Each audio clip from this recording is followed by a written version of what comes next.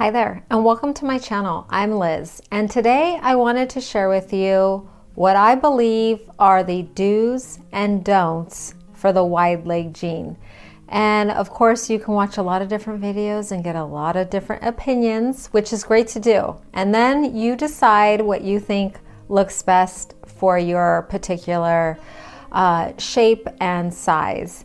And so, if you are interested to see uh, my five tips, then just keep watching. So the wide leg jean has been making a comeback the last couple years, but I feel this year it has come in full force. It is in all of the shops. You can find it in all different cuts and lengths and washes and everything.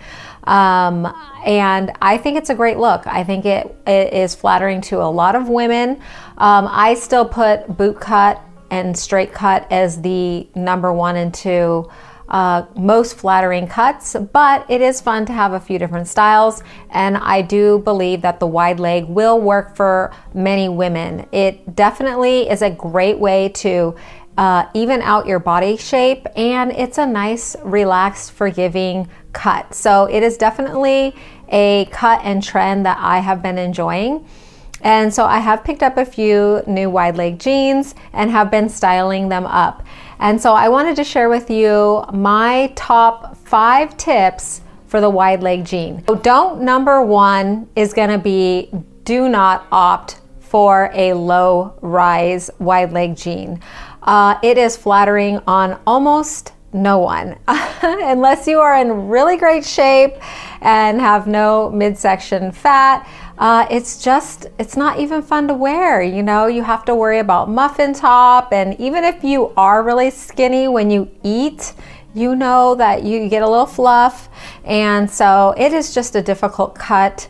I would say just stay away from the low rise jean and instead opt for a mid rise or a high rise both beautiful and forgiving.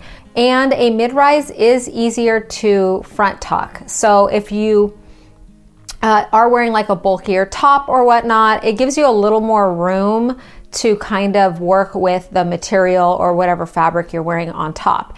And then, of course, the great thing about a high rise is it really holds everything in for you. And so, if you're doing a high rise, then you can, of course, wear a cropped top or a cropped a third layer or you have some options with that and that kind of holds everything in.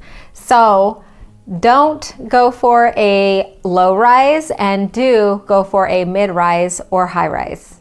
All right, and don't, number two is don't opt for an ultra baggy, really long, puddling on the floor, wide leg denim jean.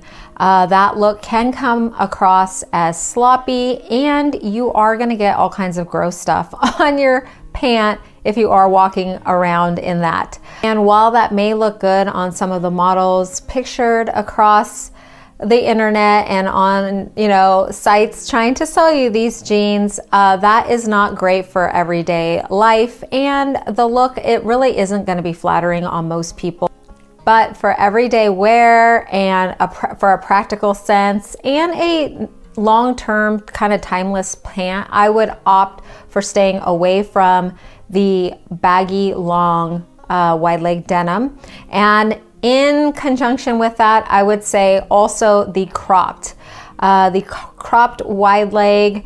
Uh, to me just isn't flattering uh, you know you have this big wide leg and you know your little ankle coming out and then you're just kind of chopped midsection. And I do not think that that is a flattering look unless again you are, you know, really thin and tall, you can chop your leg wherever you would like and it still looks good.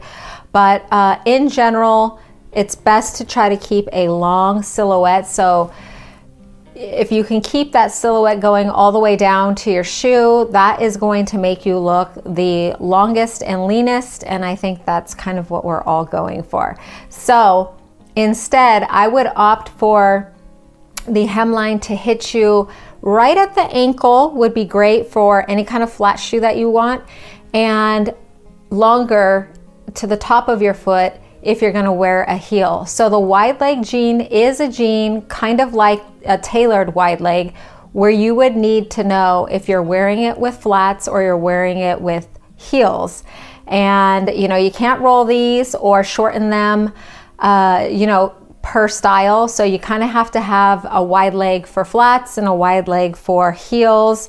And that is going to be the best way to wear this look in a I think in the most flattering silhouette and to look stylish and fashionable. All right, and my don't number three is don't pick something embellished, not embellished with, um, you know, bedazzles, with embroidery, with sparkles, uh, not embellished with distressing either. So, are we ready to leave distressing in the past yet? it is a trend that I never could get on with because uh, back in my day, when your jeans ripped up, then they would become shorts. and so I could never pay for ripped up jeans. It was not a style I enjoyed. I just think it's kind of dated and it's really not classy. I know that some of the jeans can be several hundred dollars ripped up, but I mean, it just doesn't look classy in comparison to a classic, well fit, beautiful denim that fits in a classic wash. So don't go for an embellished wide leg jean or a distressed wide leg jean. Instead, opt for a classic cut, a classic wash and all of the washes look great in this wide leg. That is the good thing. So you can do the classic dark wash, medium wash, light wash, even a black or gray or white. And even in this cut, I really do think a lot of the colors look really good. It would be very beautiful to do a seasonal monotone look. So if you had all, you know, a whole pale pink or a whole blue, uh, royal blue or something, or even brown or tan would look really beautiful with the wide leg jean because it's kind of teetering on almost a trouser look with some of the denim I've noticed. So um, it really is a versatile jean and very and flattering for many women. So don't mess it up with all the those extra, you know, dating items that aren't necessary. All right, and tip number four I am going to say don't do an full on oversized look. I know oversized is popular these days and it looks great on some people, but in general, it's it's another style that is not flattering to most. Um, you know, there's there's just way more people that can't wear it than can wear it. And so if you do see someone wearing it, notice their size. They are probably petite or very thin, um, and it looks great on them, and that's good. I am actually glad that we all.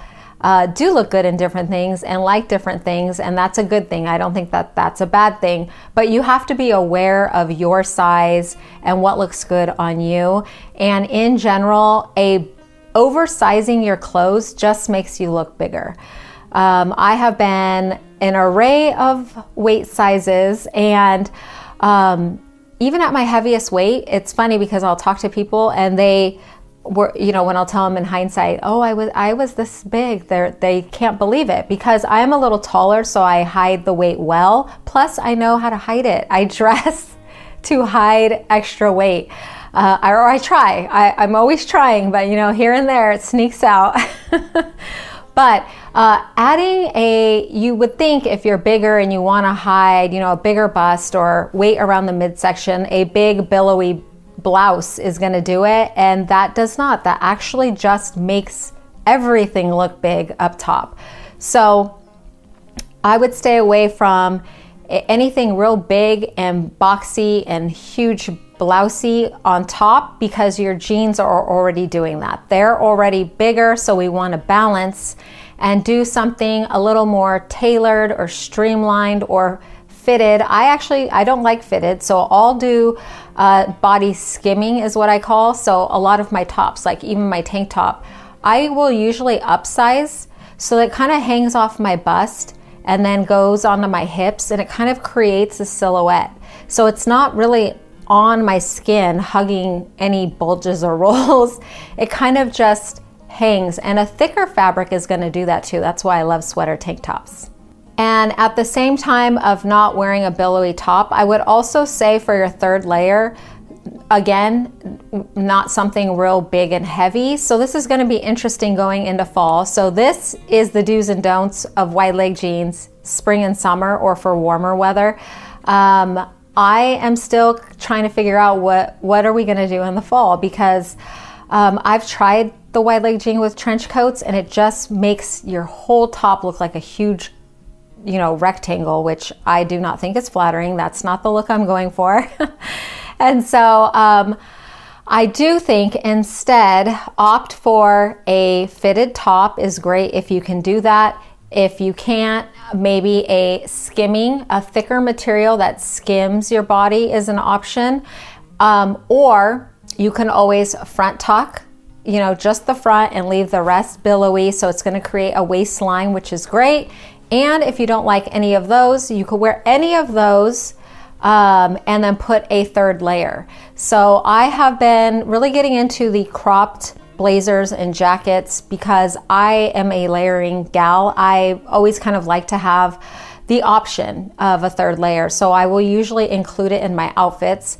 So for instance, you know, I have this cropped blazer over my tank today. And if I were out and about and it got hot, I could just take this off, but I have the option to wear it if needed. And it is, you know, covering and forgiving and linen. So it is cool, uh, you know, airy for those warmer days. Just so to summarize, uh, tip four, uh, don't do a, a top and bottom oversized look. Do opt to show a waistline in some manners, either by fitted top, uh, tucked top, or you could even tie your top or with your third layer, creating some shape.